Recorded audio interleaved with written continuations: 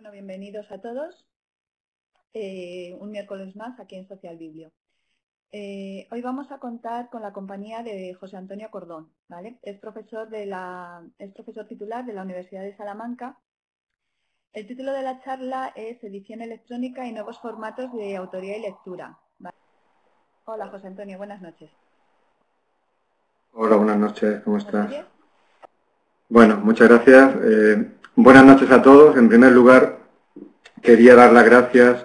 a Paula y a María por la oportunidad que me ofrecen de poder compartir esta noche con todos vosotros y de poder reflexionar sobre un asunto que imagino que todos conocéis por los medios de comunicación, por las noticias que aparecen en todo tipo de sitios, tanto en, la, en página web como en formatos impresos, y que es un motivo de preocupación no solamente para el sector editorial, sino también para el mundo de la cultura, para el mundo de, las letras. La verdad es que la oportunidad de poder conectarnos online y de poder estar en tiempo real discutiendo sobre cualquier tipo de tema, creo que es una, novedad, una oportunidad y, una posibilidad que abre nuevas vías a la, profesión nuestra y a la enseñanza online. La charla de hoy pretende ser una reflexión, como decía María, sobre lo que está ocurriendo con los nuevos soportes de lectura, con las posibilidades que abren para el autor, para el lector, para el editor y también un poco pues hacer una especie de, de perspectiva de futuro con objeto de que, de que todos la podamos comentar. En principio, el tema que nos ocupa hoy es un tema eh, que podemos considerar como polémico. No hace mucho, cuando estaba preparando esta charla, leía un artículo de Juan Guitisolo que apareció en la tribuna de opinión del país titulado Más y más cosas, pero menos importantes. Y en él hacía una especie de reflexión sobre el conjunto de posturas que podíamos considerar eh, contrarias a la implantación de los nuevos soportes de lectura de los contenidos digitales, partiendo del principio de que estos eh, representaban una pérdida eh, de algún modo respecto a las características y las propiedades que tenían los formatos convencionales. Comentaba Solo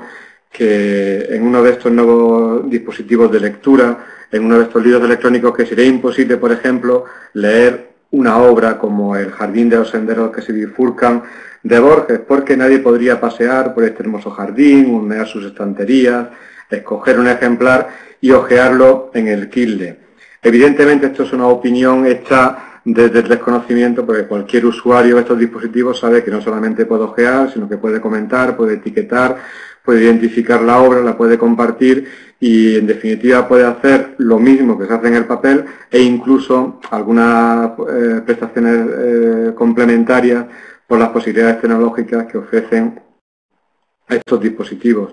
En realidad esto responde un poco al miedo a la canibalización que tienen los editores con respecto a los soportes electrónicos. No hace mucho también se hacía eco Jordi Gracia en, una, en, un ensayo que publicó Anagrama que se llama El intelectual melancólico, de esta suerte de reticencia o de resistencia que existe hacia cualquier tipo de innovación tecnológica. Evidentemente esto no es nuevo, es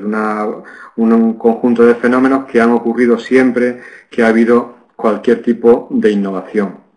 En el caso de los libros electrónicos, como afecta quizá a, un soporte y a un medio que podríamos considerar como canónico en la transmisión de la cultura, pues el fenómeno es un poco más contundente.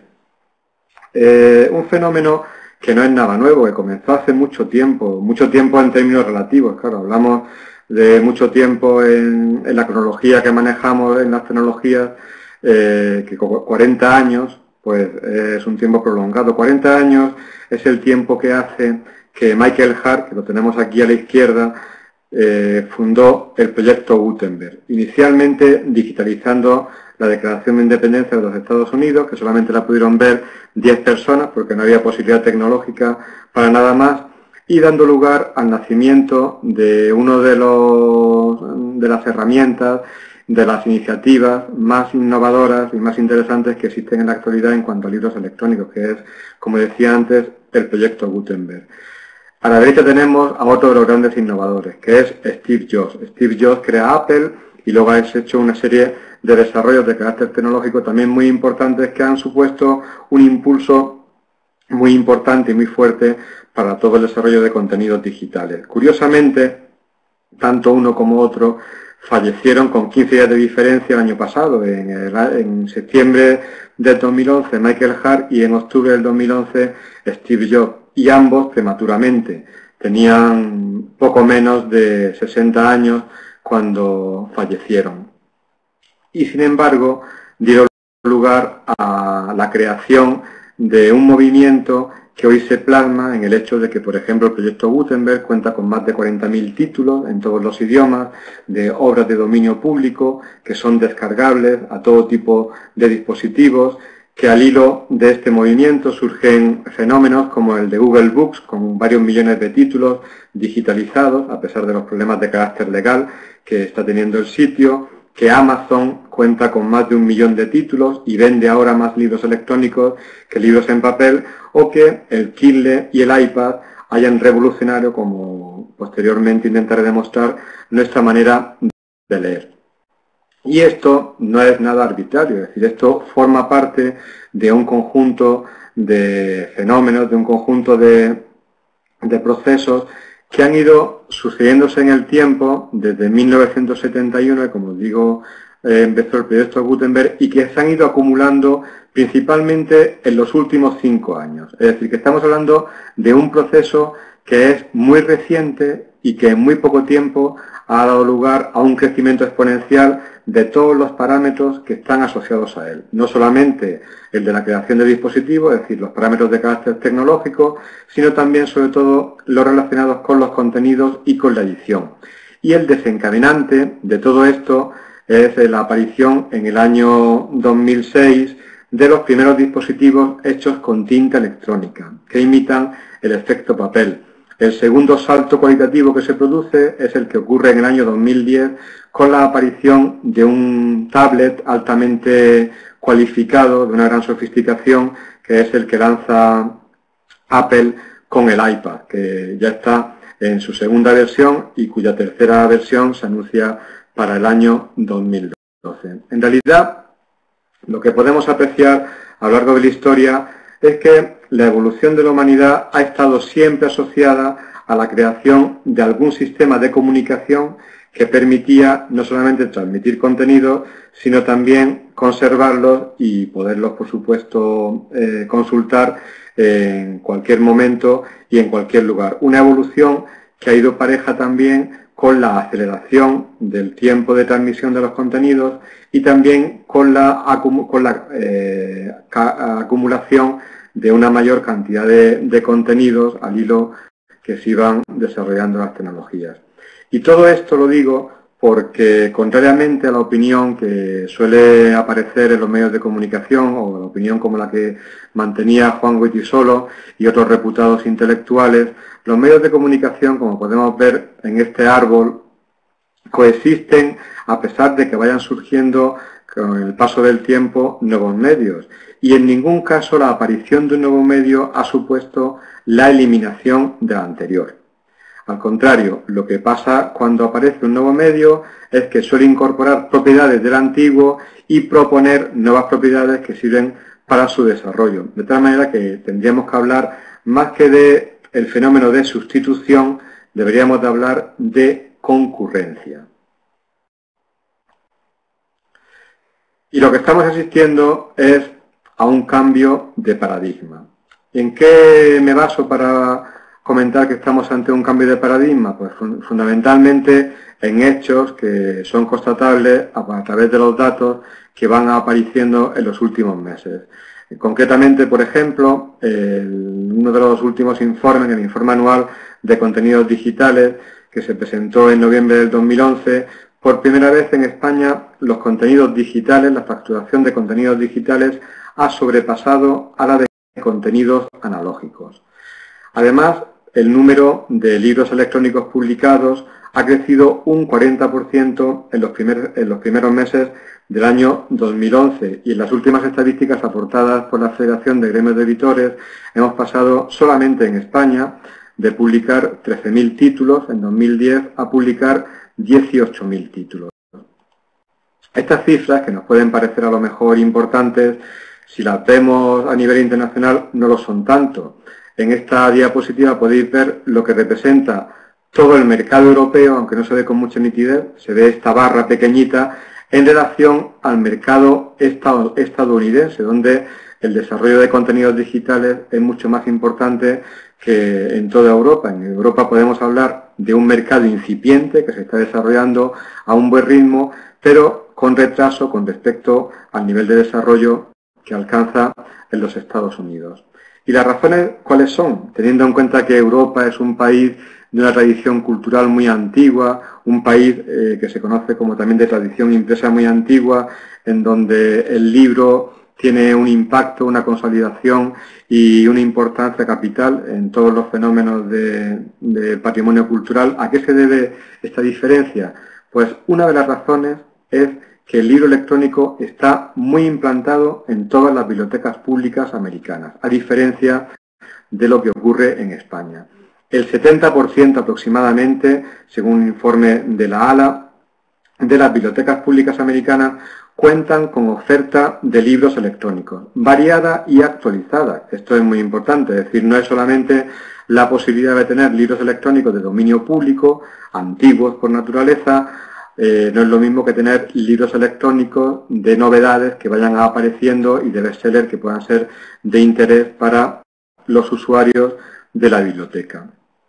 Un fenómeno también muy interesante asociado a este es que el lector electrónico, el lector digital, la persona que se familiariza con estos nuevos soportes, una vez que ha adquirido la práctica de lectura en soportes digitales, en más de un 50%, según un estudio que tenéis aquí en pantalla del ebook Reading, en más de un 50% ya prefiere leer en soporte digital y prefiere esperar a que el libro esté disponible en soporte digital a leer en soporte papel. Y esto es una percepción objetivable a través de los datos que os estoy comentando, pero que de la cual tenemos también una percepción subjetiva a través de las conversaciones que mantenemos con la gente que, se habitúa a, a utilizar soportes digitales.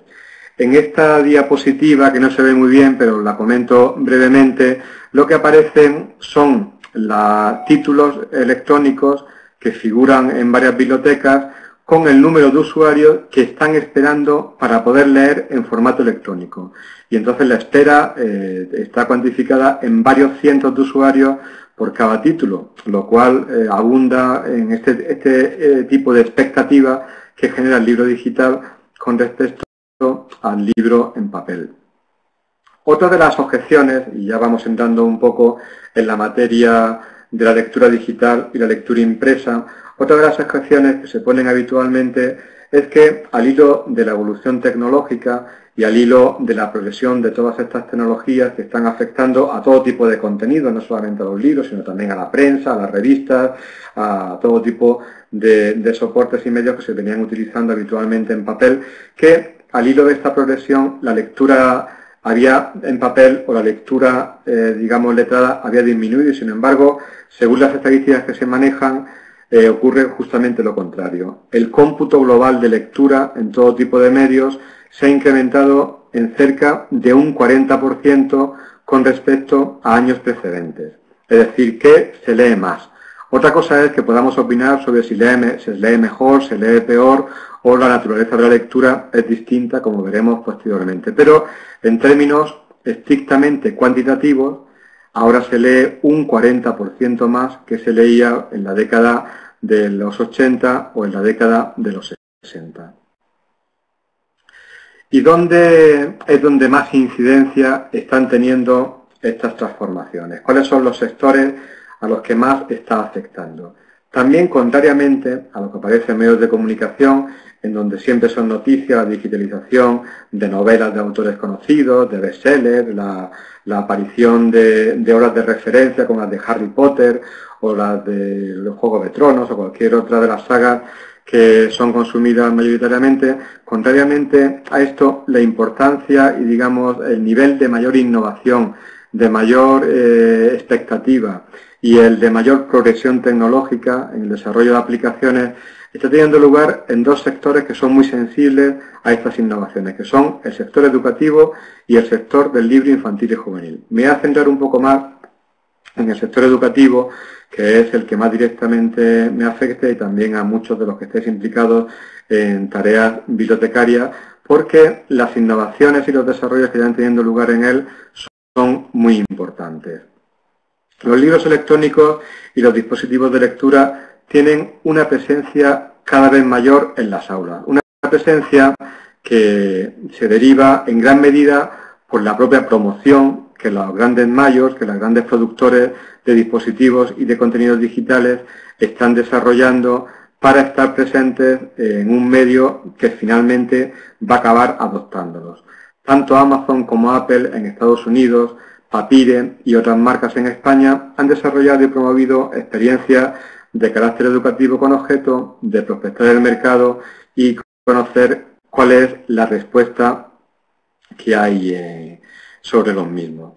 Kille, por ejemplo, está desarrollando programas piloto en una gran cantidad de institutos de enseñanza secundaria en Estados Unidos, Canadá, Inglaterra y también en la universidad, donde desarrolla un programa especial eh, del uso del Kille normal y del Kille de X, que es el Kille que tiene una aplicación sobre todo para el área una aplicación más directa para el área de las ciencias. Además ha desarrollado servicios como este que os pongo aquí, que es el, el Textbook Rental, que permite, eh, digamos, eh, desmantelar el concepto de manual, de libro de texto, de, obra de referencia al que estábamos habituados, permitiendo no solamente fragmentarla en trozos, fragmentarla según áreas de interés de los usuarios, sino además que estos se puedan alquilar en la medida en que puedan interesar en unas partes u otras al, usuario final.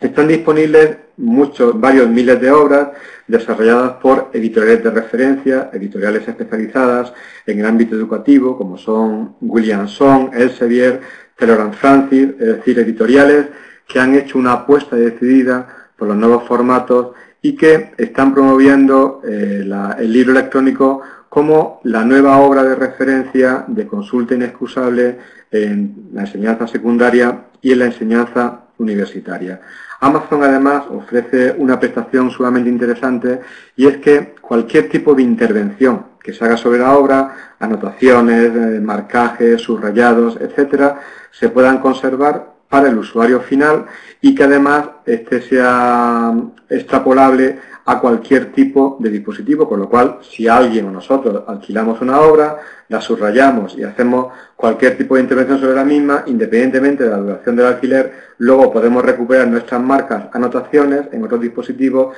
y además compartirlos con los usuarios que estimemos oportuno. Precisamente en esta línea Kille ha sacado hace poco una aplicación que se puede instalar directamente en vuestro ordenador, que es el SendKille, que nos permite que cualquier documento que tengamos en nuestro ordenador pueda transmitirse vía inalámbrica a nuestro dispositivo de lectura. Y esto es muy interesante porque eh, si tenemos un PDF, si tenemos un archivo que de, alguna, de algún trabajo que hayamos desarrollado, si tenemos cualquier tipo de documento que queramos compartir solamente con el hacer clic en el botón derecho del ratón lo tenemos ya en nuestro dispositivo de lectura, ya sea en el Kindle de tinta electrónica, ya sea en la aplicación de Kindle para iPad.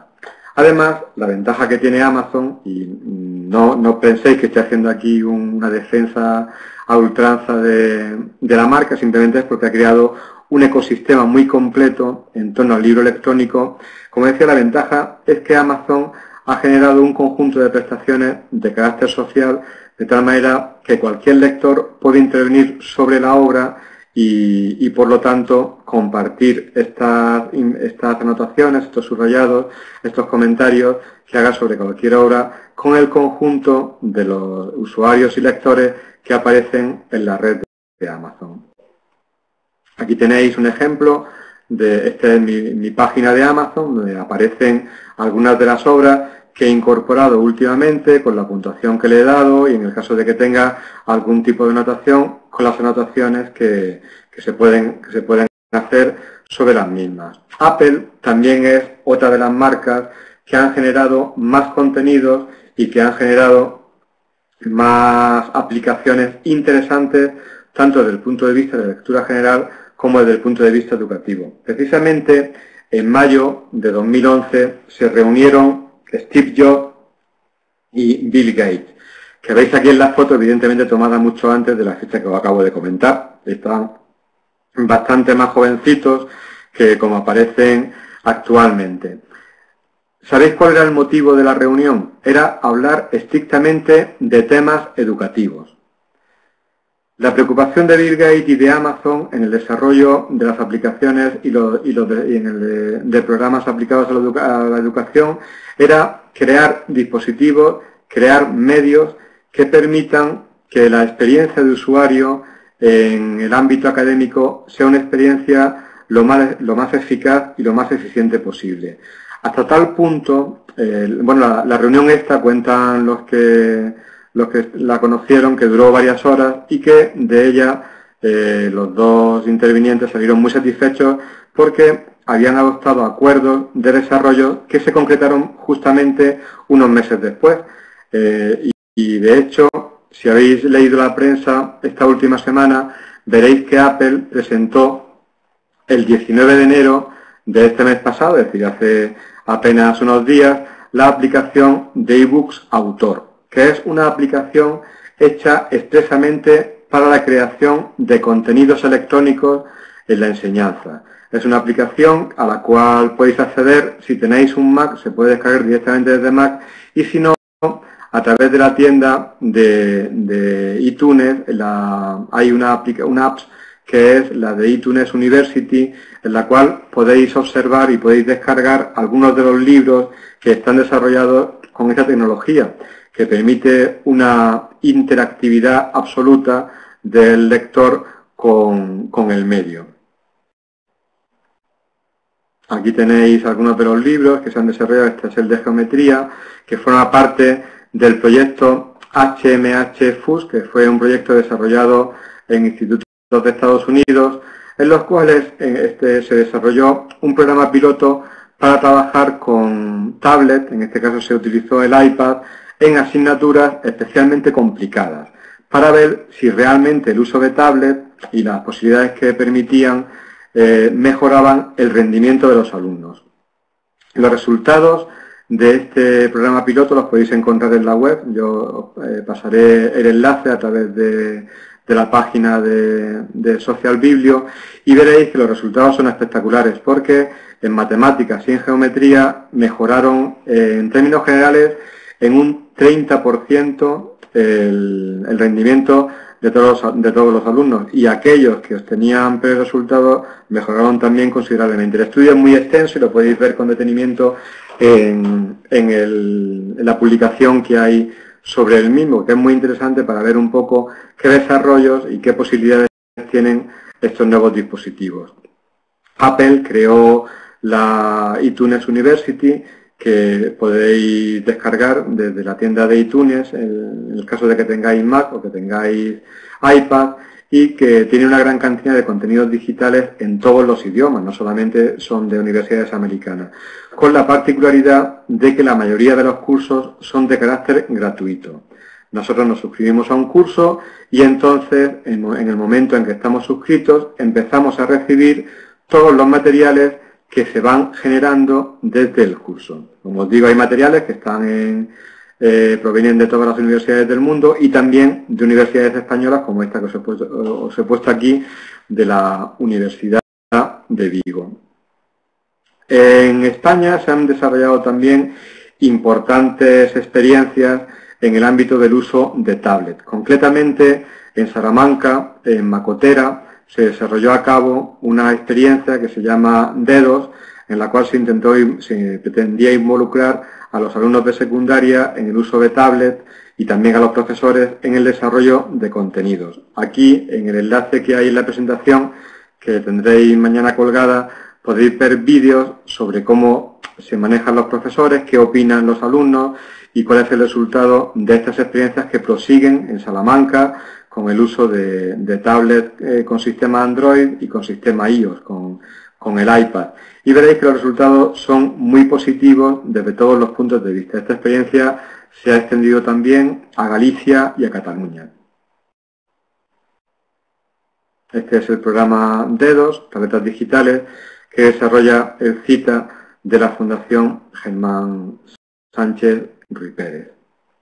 Bien, en realidad, ¿a qué nos conduce toda esta parte preliminar que os he comentado? Pues nos conduce a una cuestión que yo creo que, que todos somos conscientes de ella. Es que cada vez con más frecuencia, cada vez con mayor intensidad, estamos asistiendo a la consagración de las pantallas como soporte privilegiado de la relación con la cultura y con la educación. En realidad estamos en la época de la cuarta pantalla, de la pantalla de cine, la pantalla de televisión y la pantalla del ordenador. Hemos pasado a las pantallas móviles, a las pantallas de dispositivos móviles, concretadas bien en los tablets, bien en los lectores de tinta electrónica o bien en los smartphones, que son también uno de los lugares privilegiados de lectura,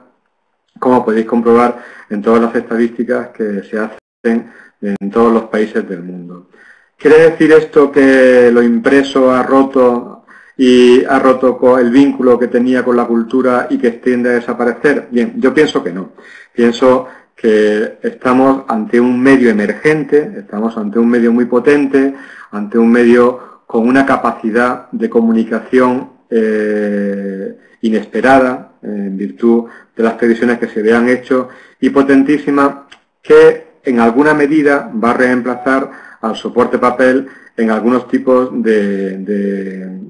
géneros en los cuales la necesidad de actualización, la necesidad de rapidez en la comunicación de la información, pues es más importante.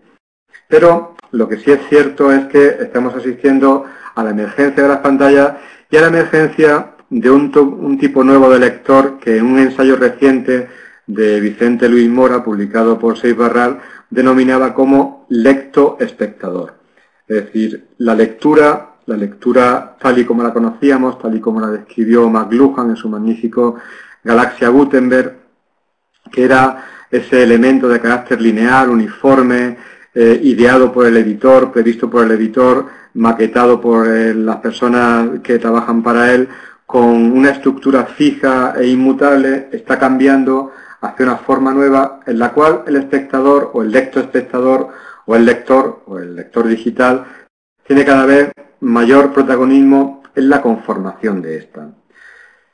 Y claro, al hilo de los fenómenos que estamos eh, viendo surgir, podemos hablar de tendencias. Tendencias que se desarrollan en el contexto de lo que en nuestro grupo de investigación, Julio Alonso, Raquel Gómez o yo, hemos denominado como e-incunables, es decir, un periodo en el cual estamos experimentando con prototipos que son todavía muy recientes, eh, tienen muy poca antigüedad, hablábamos de cuatro, cinco años,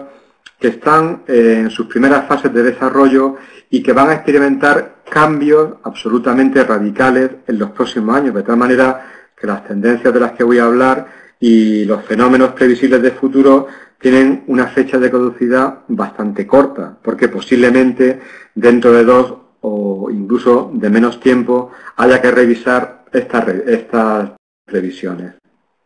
Hay en todos los eslabones que intervienen en la cadena editorial se están produciendo cambios, desde la autoría hasta la recepción. En la autoría, ¿cuál es la tendencia fundamental y cuál es el cambio más significativo? Pues en la autoría lo fundamental es que se ha producido un fenómeno de desintermediación muy importante. Desintermediación eh, se refiere al hecho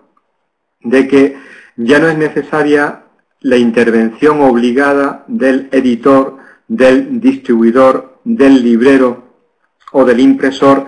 para que se genere una comunicación entre autor y lector. Los desarrollos tecnológicos, las plataformas de comunicación, los sitios web que han desarrollado las grandes firmas como Amazon, Apple, Barnes Noble, etcétera, permiten que el autor pueda colgar directamente una obra en un sitio web y transmitirla directamente al lector que la descarga o incluso que no haya una plataforma intermediaria, que sea simplemente la página personal del autor la que permita consultar directamente un texto gracias a los sistemas de autoedición que se desarrollan.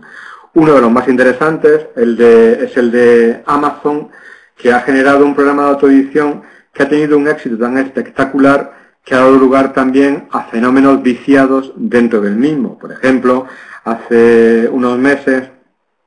se planteaba el problema del spam y del plagio editorial al hilo de esta facilidad que tiene cualquier autor de colgar cualquier tipo de texto con estos sistemas de autoedición. Incluso el propio Amazon ofrecía un paquete de programas que permitían generar textos casi aleatoriamente y en tiempo récord, de tal manera que hace poco leía un artículo donde decía que había un autor que en pocos meses había publicado el año pasado 3.000 títulos, él solo. Claro, habría que ver los títulos como son, pero el hecho es que cuantitativamente el programa lo permite. Se, han generado también problemas de plagio, de plagio flagrante, por ejemplo, publicar obras clásicas con el nombre de un autor distinto, o bien copiar un texto de algún autor reconocido y ponerlo con otro título y con el nombre de otro autor. Bueno, son fenómenos que no están generalizados, pero que la tecnología sí que lo permite. Pero el fenómeno interesante que me interesa a mí destacar es el hecho de que la opción de autoedición ha permitido que autores desconocidos hayan podido llegar a ser éxitos de venta sin ningún tipo de promoción editorial o de marketing editorial a que estábamos acostumbrados. Julio Alonso tiene algún artículo interesante publicado que seguro que tendrá la amabilidad sobre este fenómeno de, incorporar ahora a los comentarios que estamos viendo. Eh, Barnes Noble también ha desarrollado un sistema de autoedición, también llamado Pubit, con condiciones muy parecidas al de Amazon. en, en, iTunes, en Apple, también ha desarrollado el programa eBooks, en donde también cualquier persona puede colgar eh, un texto, publicar un texto simplemente con el hecho de que tenga, de, que sea propietario de un ISBN. El Libu, por ejemplo, que es una plataforma de escritura y de difusión de textos muy interesante, cualquiera de nosotros que se suscriba a la plataforma puede publicar un texto, renovarlo, actualizarlo, elegir cubiertas, eh, elegir cualquier tipo de tipografía y de dispositivos de lectura que aumente la, legibilidad en tiempo real y para hacer partícipe de ello a todos los que están en la red del IBU. En fin, hay muchas más plataformas de edición, solamente he puesto algunos de los ejemplos que existen por ser un fenómeno que cada vez va cobrando mayor importancia. En el ámbito de la edición también se están produciendo fenómenos emergentes que son muy interesantes. Quizá de todos los que hay, que como digo son mm, bastante prolijos y que no podemos detallar por la falta de tiempo que tenemos, pero que a lo mejor en las preguntas sí que podríamos extender. El que a mí más me interesa, el que creo que puede resultar más original, es el de la lectura en streaming, el de la generación de contenidos en la nube, a través del cual hay ya empresas que están desarrollando sitios muy interesantes para consumir mediante el modelo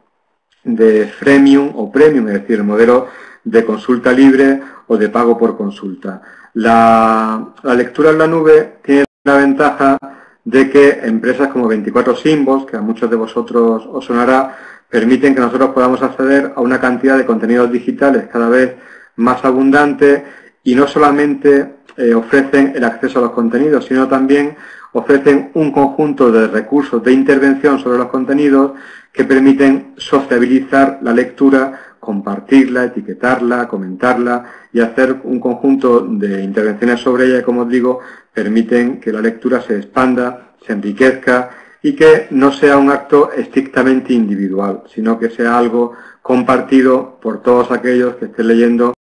la misma obra que nosotros. Musa las 9 es otra, otra de las empresas que ofrecen la posibilidad de consultar libros en la nube.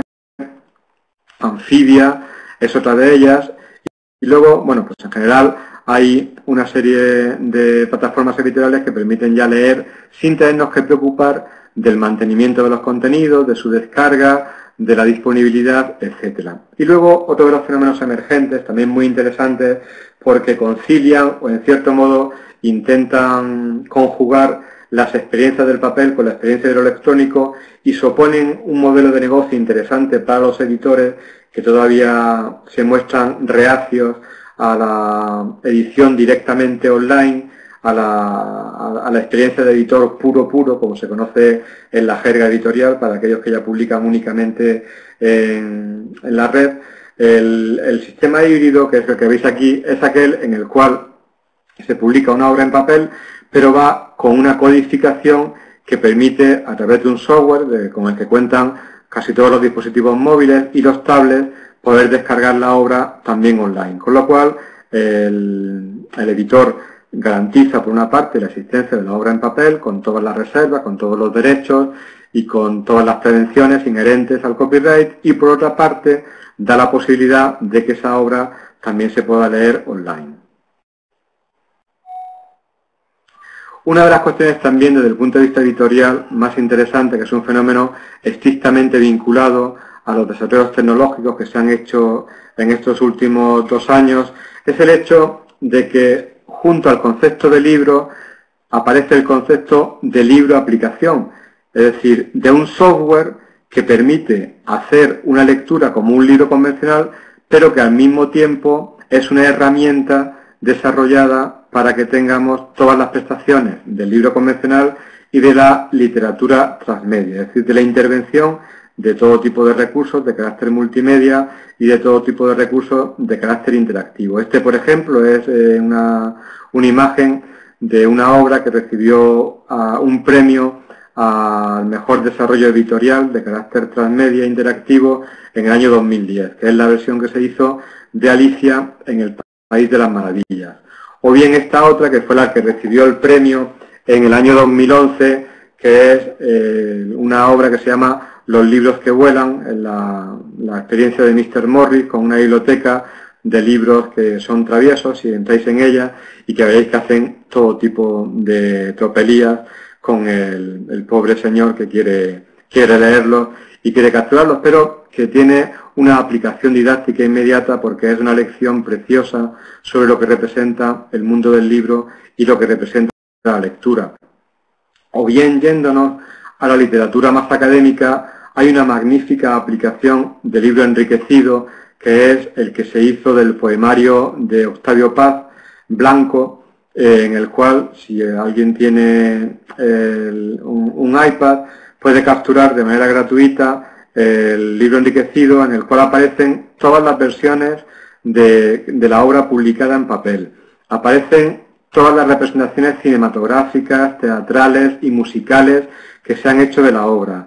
todas las obras pictóricas que ha generado la misma. Y luego aparecen también los facsímiles de la obra y las entrevistas que se hicieron a Octavio Paz y a críticos literarios opinando sobre la misma. Con lo cual tenemos la posibilidad de consultar no solamente la gestación de la obra a través de los facsímiles, pruebas, etcétera, que figuran en los archivos del autor, sino también todas las variantes que sobre la obra han ido sucediéndose en el tiempo. Como digo, es una experiencia de lectura académica inmejorable, por supuesto, eh, imposible de desarrollar en papel y que las nuevas tecnologías permiten que, podamos ya disfrutar no solamente en el caso de, de Octavio Paz, sino de muchos otros autores.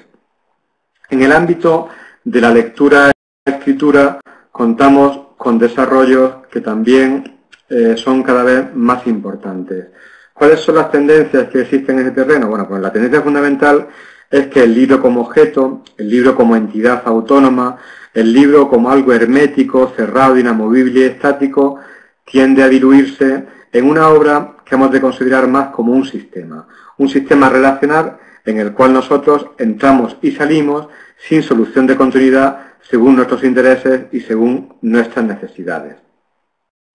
El libro se transforma en una experiencia compartida, en un lugar en red, en una lectura que se hace social o que se puede socializar. Una lectura que es social gracias a la existencia, por un lado, de plataformas de lectura, por otro, de redes sociales y por otro de los sistemas de Open Bookmark. La confluencia de todo este conjunto de tecnologías permite que lo que antes era una obra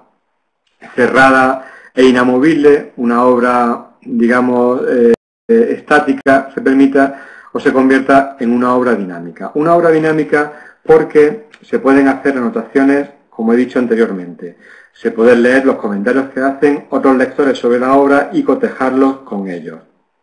Y se puede enriquecer el libro etiquetándolo, es decir, no nos tenemos que restringir a la valoración y la etiquetación que haya el editor, sino que nosotros podemos intervenir modificándola, valorándolo e incorporando todas esas valoraciones y esas etiquetas a redes que tienen un carácter mucho más amplio.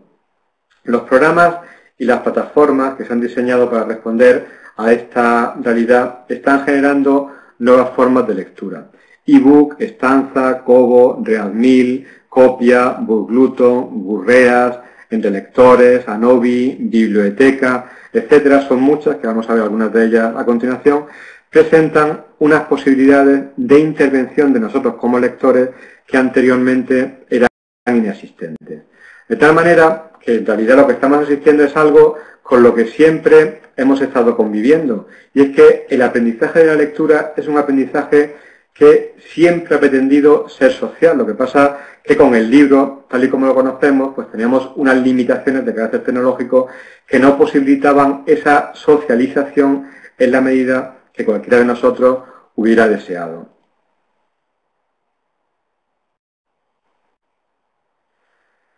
El hecho de compartir la lectura, el fundamento nuestro en nuestra cultura es social, es decir, la, razón de ser de la biblioteca, la razón de ser de todas las unidades documentales es precisamente esta necesidad de una disponibilidad para todo el mundo y en todos los lugares de las obras que ha ido creando la humanidad. Luego ocurre que las tecnologías permiten ahora que haya redes, como esta que estáis viendo aquí ahora mismo, de, de un espacio en Facebook, en el cual los lectores comentan eh, qué les ha parecido una obra y dan opiniones y se contestan unos a otros sobre la misma. O bien que establezcamos nuevas formas relacionales al hilo de las posibilidades que ofrecen estos nuevos dispositivos.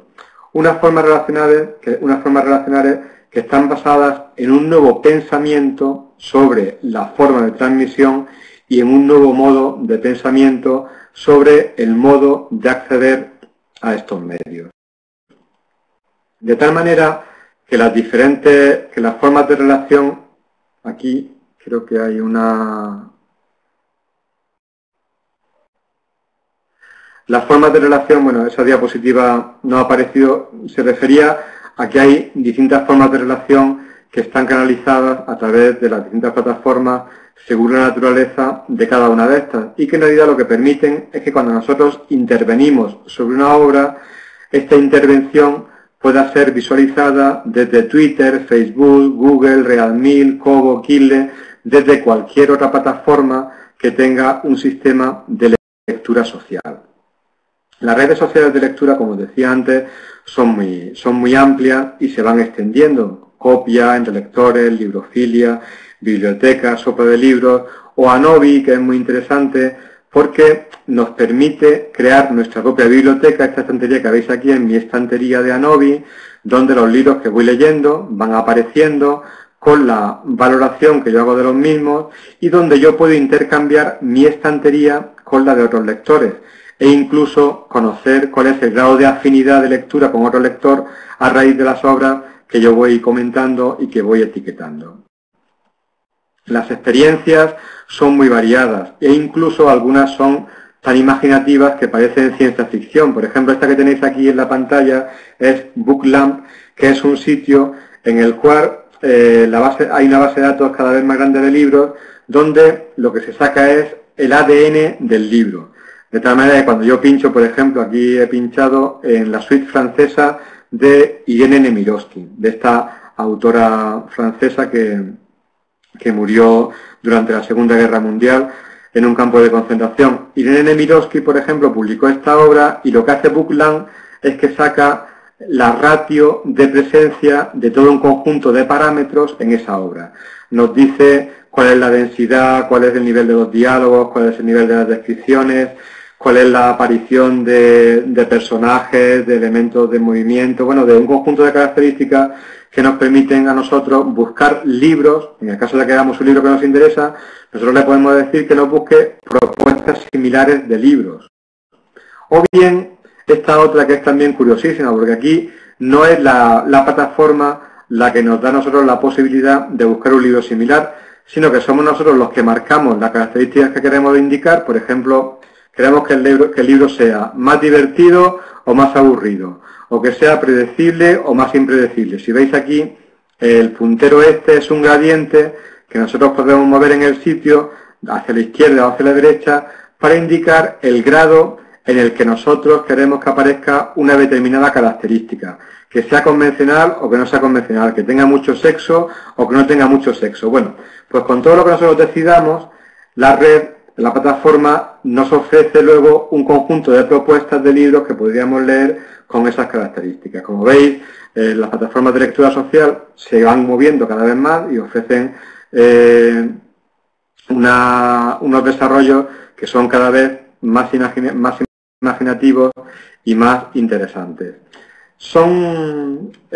muchos, como os digo, los desarrollos que se han hecho. Claro, aquí la pregunta que nos planteamos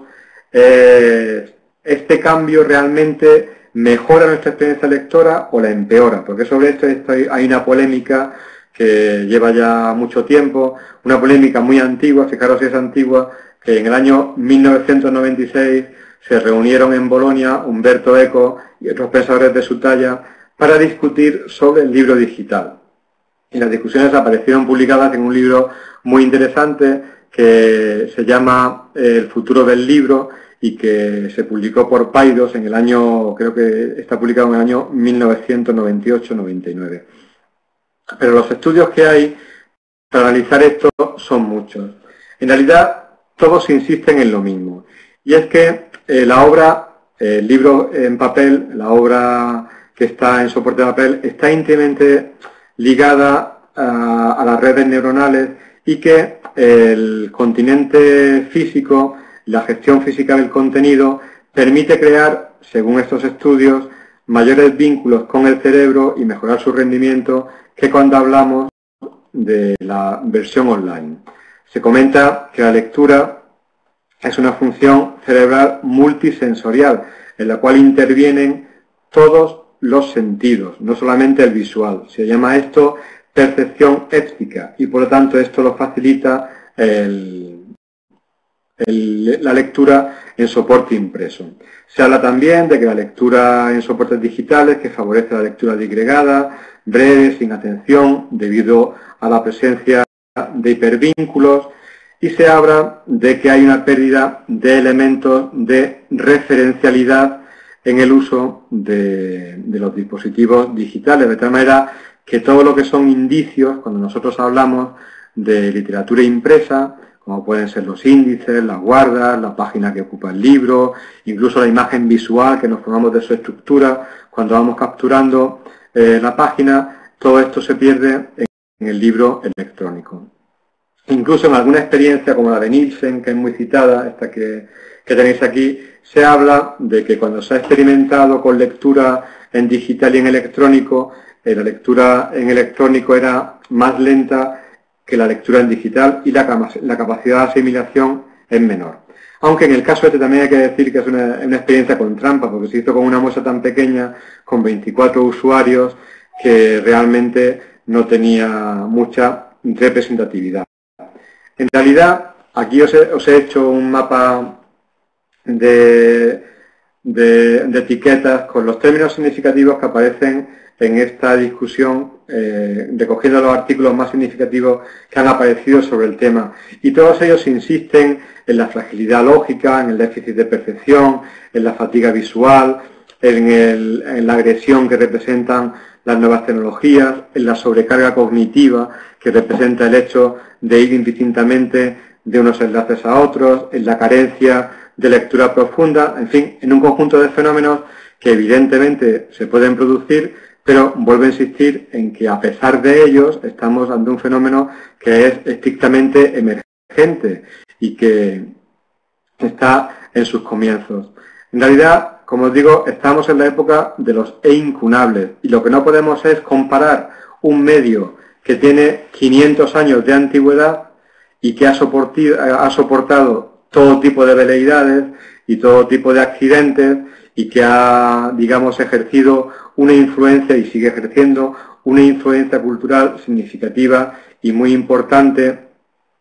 eh, en toda la cultura eh, internacional con un medio que tiene solo cinco años de antigüedad y que está en estos momentos en, sus inicios eh, desarrollando el sistema de prueba-error con desarrollos que tienen posibilidades y con otros desarrollos que se quedan agotados prácticamente en el momento de su nacimiento. En realidad todo esto a qué apunta? Todo esto a lo que apunta es a que estamos en un momento de transición entre eh, lo impreso y lo digital en el que se hace cada vez más imprescindible la adquisición de nuevas competencias, la adquisición de una multiliteracidad que favorezca el acceso, la capacidad de manipulación a los nuevos medios digitales. Las nuevas competencias son imprescindibles. Todas las experiencias que se han desarrollado en el marco de Territorio ebook que desarrolla la Fundación Germán Sánchez Ruiz y los resultados de sus investigaciones muy interesantes apuntan a esto, apuntan a que los lectores formados, independientemente de la edad, como hemos podido comprobar con los mayores de 55 años, cuando adquieren estas competencias, eh, deshabilitan la resistencia que hay ante la tecnología, o si queréis de otra manera, la tecnología se vuelve invisible. Y aquí juega un papel fundamental la función de mediación del profesional de la información, que es sustancial no solamente para la implementación de todos estos nuevos medios en la biblioteca, sino para la alfabetización del usuario, sin la cual, evidentemente, la, apropiación de los contenidos o la capacidad y la rapidez en la asimilación de los mismos se va a ver muy mermada. Por lo tanto, el compromiso ha de ser el de los bibliotecarios, el de los documentalistas, el de todas las personas que son mediadores de información con objeto de acabar de, derribar cualquier tipo de obstáculo que se plantee entre el usuario y el contenido, que es lo que realmente nos interesa. Además, proporcionando esa experiencia enriquecida que supone el conocimiento de todas estas prestaciones complementarias que tienen los dispositivos y los soportes de lectura electrónica. Yo creo que estamos ante la aparición de un medio cada vez más importante, cada vez más consolidado, cada vez más extenso, que en los próximos años va a experimentar innovaciones, renovaciones y cambios muy importantes y que va, está dando lugar a la aparición de una nueva cultura ante la cual nosotros no podemos quedarnos desenganchados, independientemente de las polémicas que se puedan suscitar sobre eh, la desaparición, una desaparición del medio o sobre la prevalencia o no prevalencia de un medio sobre otro. Yo creo que el camino en el que estamos embarcados es un camino de carácter inexorable,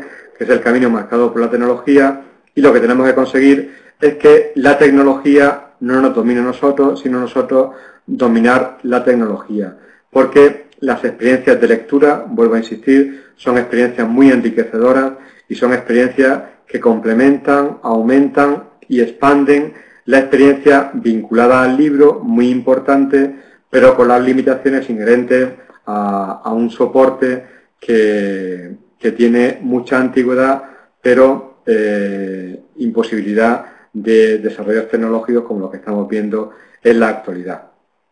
Pues muy bien, por mi parte creo que he cumplido con los 60 minutos que tenía atribuidos y ahora lo que sería muy interesante es que intervinierais vosotros con todas las preguntas que, quisierais hacer y que yo os contestaré encantado. Muchas gracias. He recogido, María. Me las, me las han pasado en papel, aquí tengo un ayudante en casa que, que me está pasando las preguntas impresas, así que si quieres ya paso a contestarlas, ¿de acuerdo? Mira, me pregunta Silvia. Sí, lo tengo, lo tengo. Tengo aquí a ayudantes que me están haciendo la tarea de asistentes esta noche. Eh, me pregunta que si en Estados Unidos prestan el dispositivo con libro electrónico o solo libro electrónico. Bien, en realidad el, el modelo que tenemos en España es un modelo sui generis, atípico y un poco surrealista. ¿Por qué? Porque en realidad lo que nosotros pretendemos cuando tenemos un libro electrónico en préstamo es acceder a los contenidos, no que nos presten un chisme, un aparato precargado con obras de dominio público que tenemos que devolver como cuando devolvemos un libro normal prestado en la biblioteca. En realidad, lo que permite el sistema de préstamo online es que nosotros desde nuestra casa podamos coger prestado un libro durante los siete días de la semana y durante las 24 horas del día sin tenernos que desplazar la biblioteca y el libro se borra de nuestro dispositivo cuando ha finalizado el periodo de préstamo, con lo cual no tenemos que preocupar si nos pasamos en el tiempo, si nos penalizan o no nos penalizan, simplemente es acceder al catálogo de la biblioteca y tomarlo en préstamo. El sistema que hay en España pues adoptó un poco por el miedo que representaba la, la adopción directa e inmediata de un sistema online que se temía que fuera a eliminar eh, la presencia del bibliotecario, que como he dicho, eh, no, debe suscitar ningún temor, ningún temor porque los bibliotecarios y las personas dedicadas a la información son cada vez más importantes al hilo que se van sucediendo estos desarrollos tecnológicos. Me preguntan también que si un libro prestado pueden tenerlo varias personas a la vez. En principio no. Hasta que no se devuelve el libro prestado no lo pueden tener varias personas a la vez. Otra cosa es que la biblioteca haya comprado varios libros. Entonces podrá prestar tantas veces como libros tenga comprado. Pero hasta que no se devuelve el libro no se puede tomar en préstamo por parte de otra persona. Me preguntan también que qué pasa con los libros científicos y en especial los de medicina, que si las editoriales están por la labor y que si hay iniciativas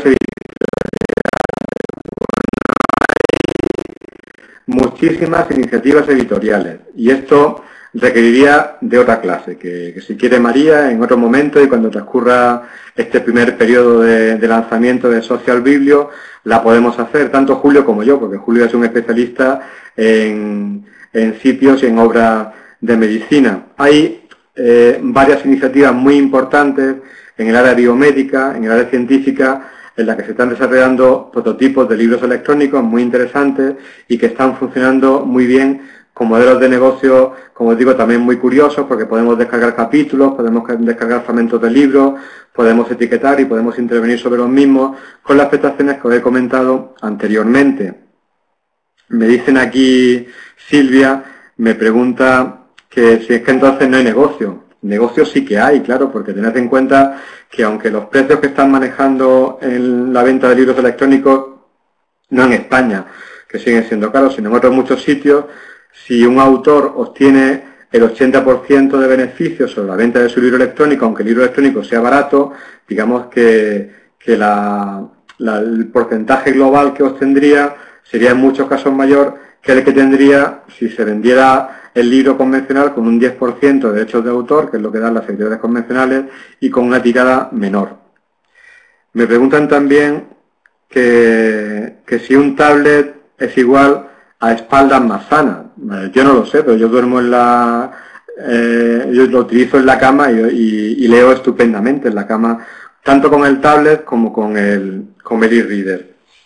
Menos mochilas, evidentemente. Una de las posibilidades que ofrece la existencia de, libros académicos y de obras de consulta, de libros de texto electrónicos, es que la experiencia de la mochila, que los que tenemos hijos la sufrimos o, sufrimos viéndolo todos los días, pues tenderá a desaparecer, aun cuando se sigan utilizando los libros en papel, que no, como decía, no tienen por qué desaparecer, sin embargo, la experiencia será cada vez más digital.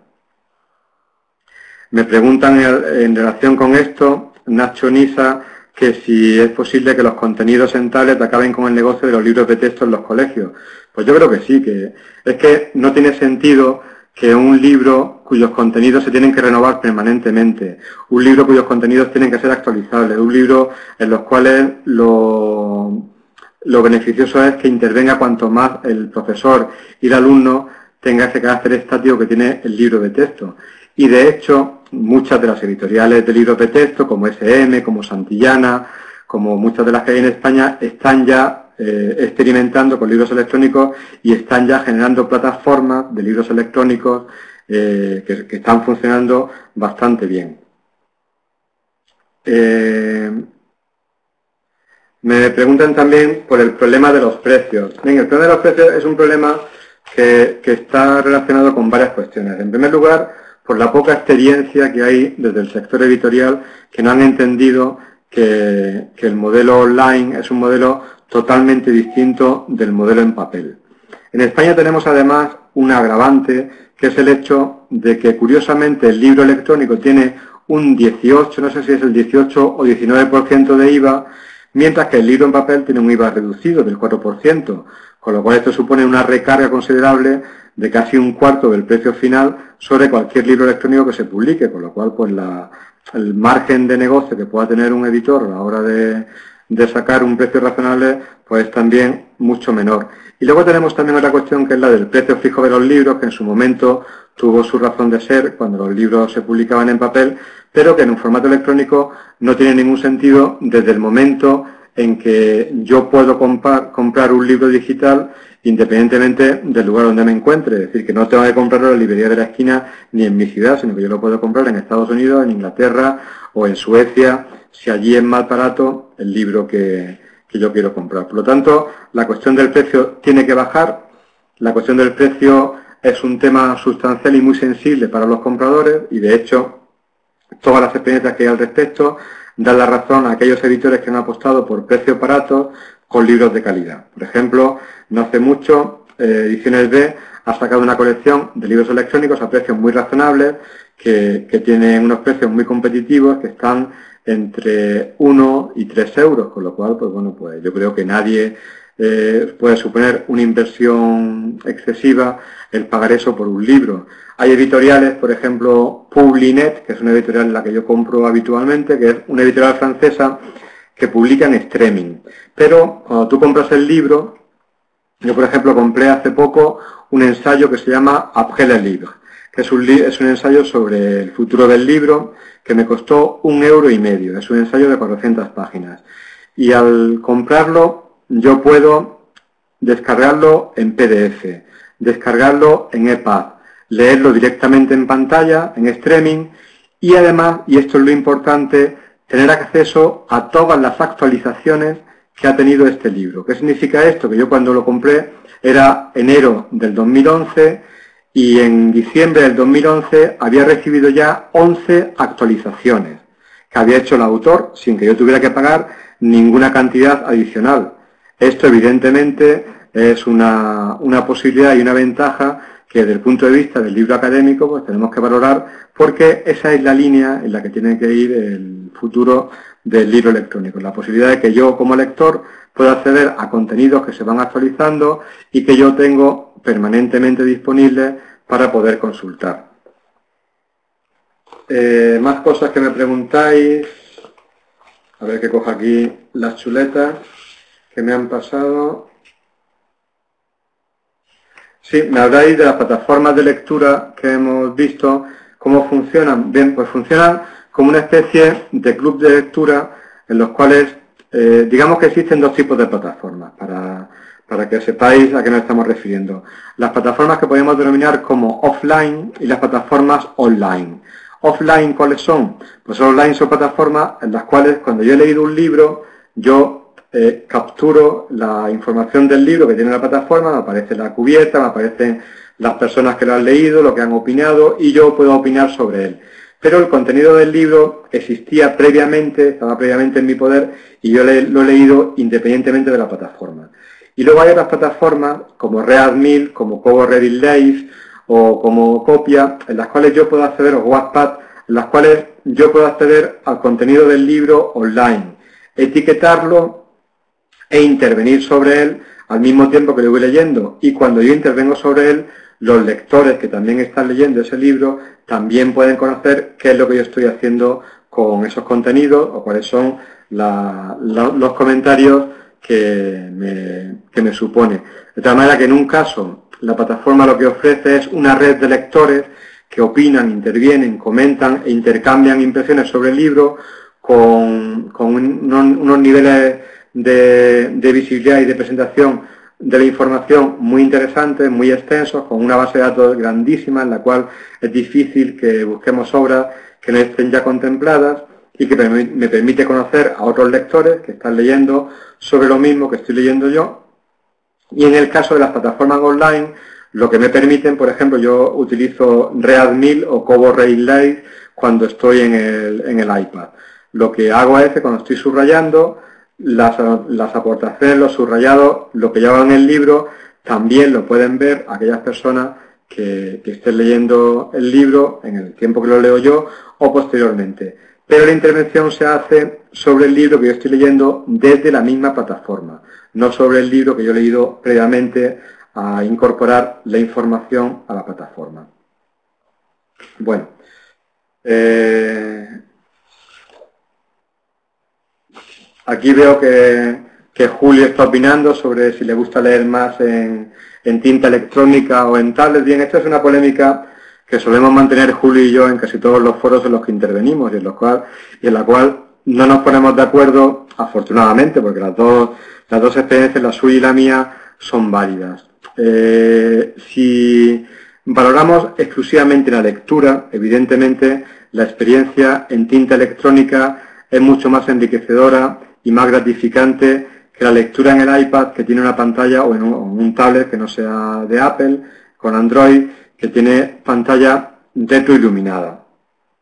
Ahora bien, la diferencia es que en los dispositivos de tinta electrónica el software de lectura es exclusivamente el software que va incorporado al dispositivo. Con lo cual, cada dispositivo tiene su software con las limitaciones que tiene el mismo. Entonces, nosotros nos tenemos que contentar con las prestaciones que nos ofrece el software del dispositivo de tinta electrónica. ¿Cuál es la diferencia con un tablet? La diferencia con un tablet, y que es lo que yo más aprecio, es que según el género que estoy leyendo y según lo que me gusta leer, yo puedo utilizar una aplicación u otra. Pongo un ejemplo. Si yo voy a leer un libro convencional o una novela, pues utilizo ebooks, utilizo estándar utilizo Kindle, que son aplicaciones que están en el iPad. Ahora, si yo voy a leer cómics, utilizo Comic Life,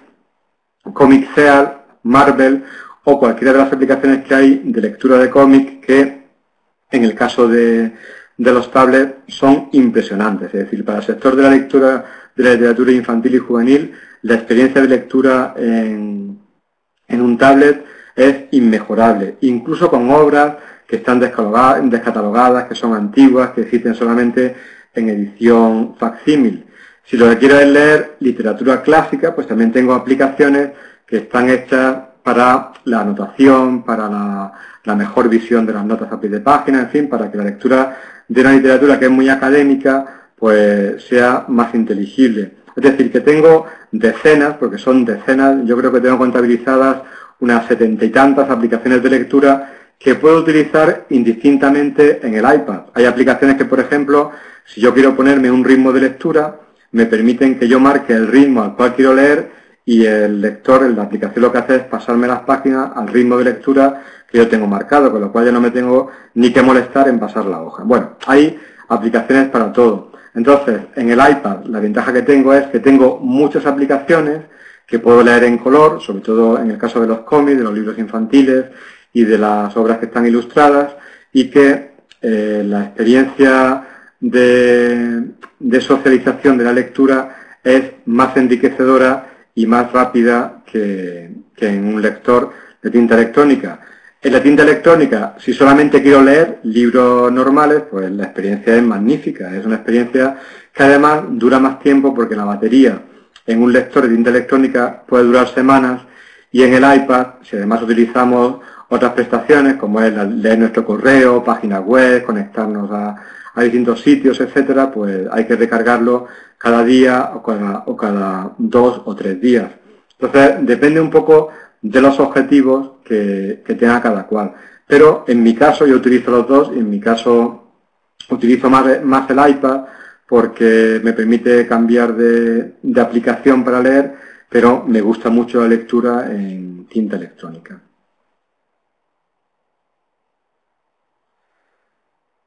De las cosas que tenía impresas, creo que he contestado a, casi todo. Ahora, si queréis escribirme alguna pregunta en, el chat. Julio, por ejemplo, comenta una aplicación que es en el iPad, que es PDF Notes, que nos permite cualquier artículo, cualquier libro que estemos leyendo, nos permite anotarlo, nos permite subrayarlo, nos permite luego encontrar agrupadas todas nuestras notas, todo nuestro marcado, todo lo que nosotros hayamos hecho de intervención sobre el libro sin que tengamos que ir a, la página en concreto, sino que aparece todo reunido. Entonces, bueno, pues eso también es una ventaja cuando estamos escribiendo artículos científicos o, estamos intercambiando información, eh, Julio, Raquel y yo, pues utilizamos esto para enviarnos únicamente las anotaciones que la aplicación ya ha agrupado sin tener que preocuparnos de buscar en qué sitio hemos anotado cada cosa.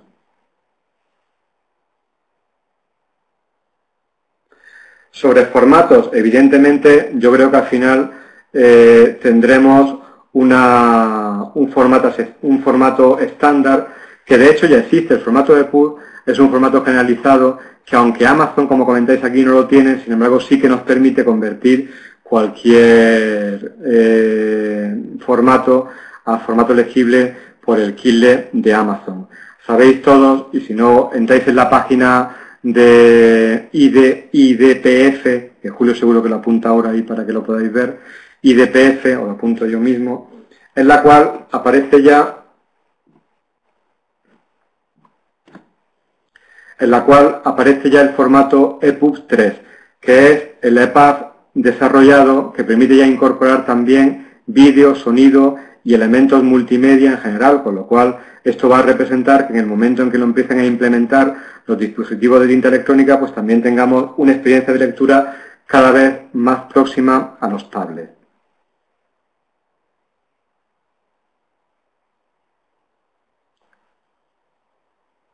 Bien, el tema del DRM,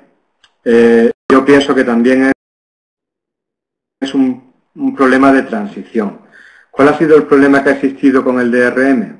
El problema que ha existido es que los editores eh, durante muchos años han estado acostumbrados a que estaban absolutamente protegidos en sus derechos, tanto ellos como los autores, por el sistema del copyright. Un sistema que ya de hecho, como todos vosotros sabéis, había sido contestado a través de movimientos como los de Open Access, como los desarrollos copyleft y Creative Commons.